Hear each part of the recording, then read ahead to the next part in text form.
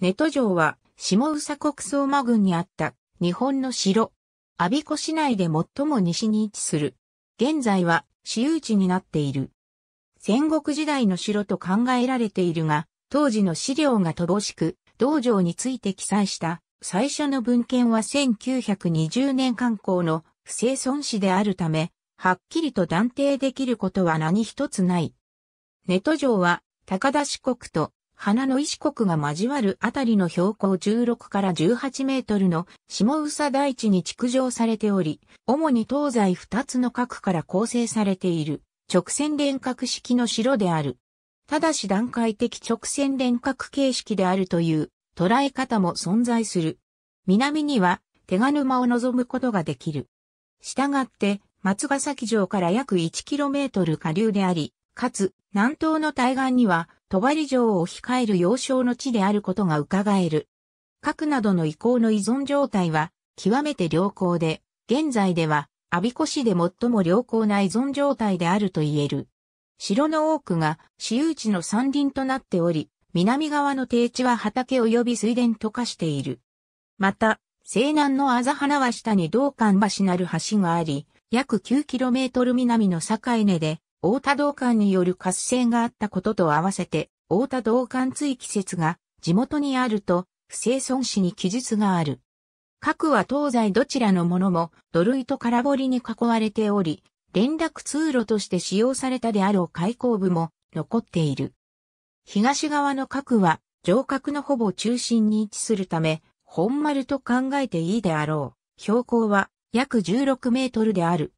その周りを東、北、西に空堀が巡り、東西の角の境になっている。さらに堀と角の間には土塁が築かれていて、西南西と南に内外の連絡通路としたと推測される開口部があり、どちらも間口は約2メートルである。また、この東側の角は台形に似た形をしていて、この角の南西部にあたる部分は住宅地として開削され、原型を保つことができていない。西南西の古港が中心の通路で西側の角とつながる土橋に出ることができる構造となっている。周囲に築かれている土塁の中では、西部が最も規定部の幅が大きく、平均すると約10メートルである。この土塁は、角との飛行差が約4メートル、上部幅は1メートルで、南北方向に伸びている。中央に西側の車に通じている開口部があり、周囲とは1.5メートルほど低くなっている。開口部から見て、南側の土塁は南端で東西に分かれており、東側は角を囲うように伸び、開口部で途切れているのに対して、西側は約10メートル突き出て止まっている。東側の土塁をさらに辿ると、南東部分でおよそ110度屈折し、今度は北方向に直線的に走って西へ行くほど高さが高くなり、北端まで行くと直角に屈折することで角を一巡りしている。土塁に外側には空堀がさらに一巡しているが、南側に関しては、堀と明確に言えない不明確な状態である。南側には住宅地が造成されているため、原型を探るのは難しいが、残っている箇所からテラス状に作られていたと推定されている。一方で、西側の角は南北に長い長方形のような形をしており、北西に高く南東に低い平坦面で、標高は約19メートルのところにある。角の大きさは東西方向がおよそ18メートルで、南北方向にはおよそ50メートルとなっている。南は天然の急峻な崖、それ以外は空堀になっている。北側と西側をめぐっている土塁について考えてみると、北側は東西に長さ約23メートル直線的に走っているので、あるが、東側半分は高さ約1メートル、規定部の幅は約3メートルであり、規模が小さくなっている。対して西側は徐々に高さを増しており、角内とおよそ2.5メートルもの差ができているところもある。この北側土塁と西側土塁であるが、この二つの土塁が接する部分で一旦西方に張り出してから直角に折れて、南にわずかばかり進んで東に屈折した後に、西側土塁に通ずる形で、現状では少し膨らみを持って曲がっているだけなので、あるが逆落ち型堀切りであると考えられている。この逆落ち型堀切りは戦国期の防御系の城郭に多いものであり、ここから東条が戦国時代の防衛系の城郭であるということが推測できるのである。東側の角の平面型が不正方形であることは防御に適しているとは言えず、東側の角が西側の角より2.5から3メートル低いことも合わせて考えると城郭の構造が非常に自然地形に左右されやすいことがわかる。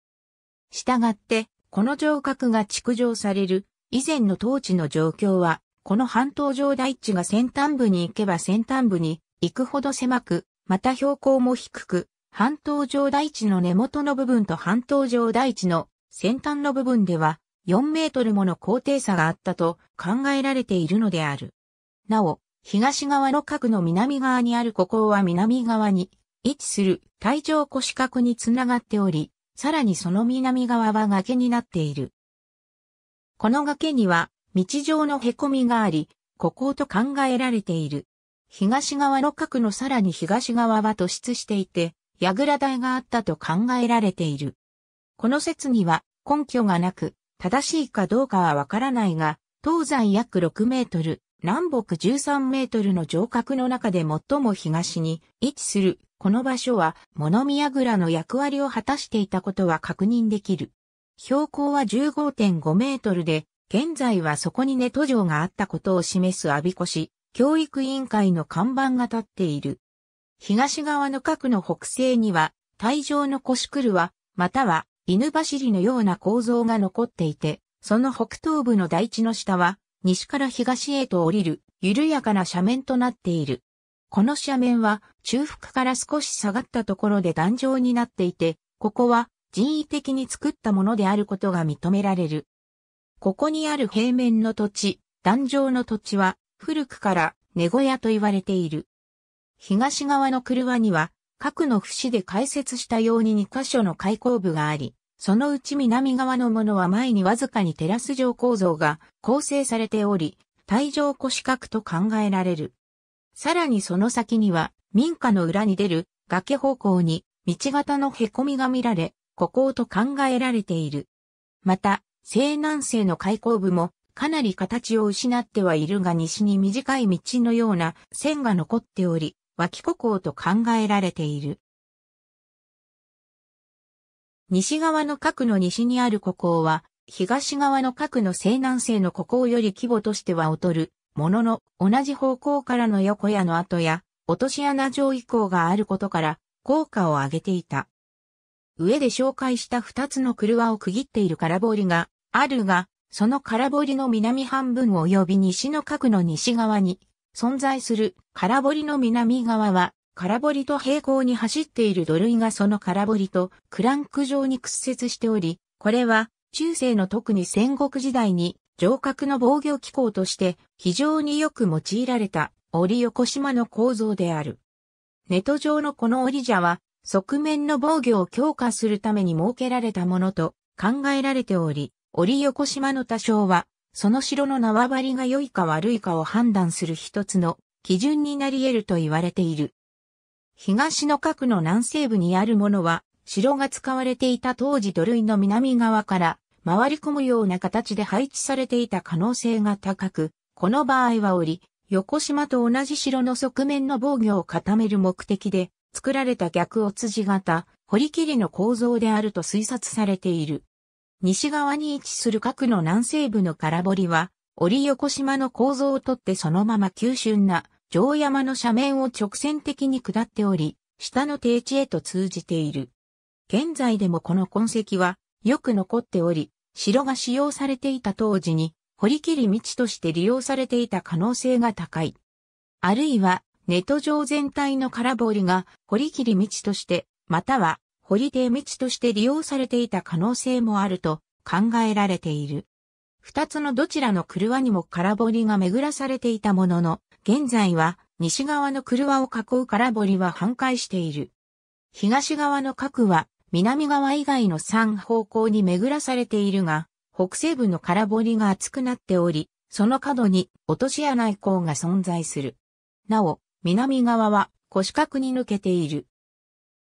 西側に位置する角のさらに西側に約110メートル進んだところに大地から低地に下る生活道が南北に走っており、その傾斜地の形状に注目してみると、西側の角の南西部で見られたおり、横島と堀切道の合成された構造と同じ構造をしていることがわかる。この構造がネット上の城郭に関わっているものであるかどうかは現在不明であるが、今も現地住民の農道として使用されており、検討すべき課題としてマークされている。また、金塚古墳から東側に伸びている溝や同じく、金塚古墳の北側に存在する東西に走る溝が、ネト城と関係があるのか、またどのような関係があるのかについては未だ、調査結果が出されていない。日本民族学の第201から204号によれば、鎌倉時代から千葉一族の居城になっていたと言われているようであるが、詳細は不明である。また、平野正門の居城であったという説も存在する。不正村史では1478年に大田道館が築城したと紹介されているものの、城主は不明としている。また、千葉県東葛飾郡市には、相馬種村次郎左衛門の三男、根と三郎種光の一と紹介し、その後道館の改築を経たことを述べているが、その後の経過については不明であるとしている。そしてこの二つの記述を統合するとネト城は当初、相馬一族の一として利用され、その後文明年間に道館が改築し、道館が去った後は誰の居住地になったところか不明であることになる。しかしこれらが事実であると断定することはできない。福島県相馬市の関記事が所蔵している相馬の系図には、千葉県東葛飾郡市の示す、相馬種村の三男、根戸種光の存在が書かれているが、種村の三男は、時代的に鎌倉時代の後期の人物となり、他の資料からは、その存在を確かめることができないため、信憑性は低いとされている。ただ、日本城郭体系によると、南北朝時代のものと考えられる草釣りが出土していることなどもあり、戦国時代以前にこの地に上官があったことも事実であるとされる。上で紹介したようにこのネット上の移行には、折、横島や逆落字型堀切、異飛行面二重度類や体上腰角、さらには腰角などなど戦国期の防御系の城郭によく見られる移行が数多く残っており、それも臨時的な城郭などではなくある一定の期間、機能したと推察できる長期防衛用の要塞の形をとっていたことから、戦国期に防御系の城郭として反長期的に機能していたことは確かであると考えられている。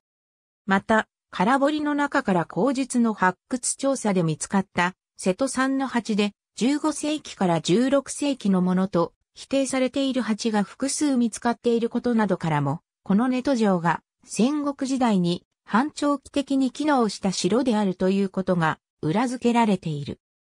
また、大田道館の没後は、高木氏の勢力範囲内に入っていた時期もあったことから、高木氏参加に組み込まれたのではないかと考えられているが、高木氏が後北条氏下に参入し、牛久城、シーズ城などの城の金盤や火災城などの城の構築、整備に当たり始めると、その勢力範囲はネット上のあるところまで届いていたか不明であり、ネット上と高木氏との関係についても未だ謎のままである。なお、同じ阿鼻子市内の阿鼻子城には、阿鼻子氏という氏族が入城していたと見られており、その名前の傾向から、高木氏の一族ではないかという説も存在する。1985年には、阿鼻子市教育委員会が発掘調査を行っている。前述の通りネット上では1985年の7月25日から9月17日に発掘調査が行われていて、5つのトレンチが設定され、それぞれを A、E の5つに分けて調査している。調査の結果、住居跡9件のほか、土工6機が見つかっている。A トレンチは西側の角のさらに西に、B トレンチはそのさらに西に、C トレンチは西側の角の北に、D トレンチは東側の角の北北西の根小屋の坂へ通じる傾斜の上に、E トレンチは D トレンチのさらに北西に、それぞれ設定されている。瀬戸山鉢住居跡9件、土工六期鉄製釘瀬戸用鉄油すり鉢公園部1点瀬戸用、すり鉢2点 A トレンチでは初夜源掘りが発見されていて、これは人の手によって埋め戻されたことが分かり、破除された可能性があることが報告されている。国学院雑誌によると、明治38年以前はこの城の故障は老若を問わず、城山であったといい、ネト城はもともと便宜的に付けられた名称であるという。ただし、これについては当時の文書がないことから不明である。なお、東城は現在も現地の人によって城山と呼ばれている。また、便宜的に別の名前が付けられた背景であるが、城山という名称はネット城の近くでも他に複数の城に付けられている名称であり、混同を防ぐ目的があったのではないかと言われている。ありがとうございます。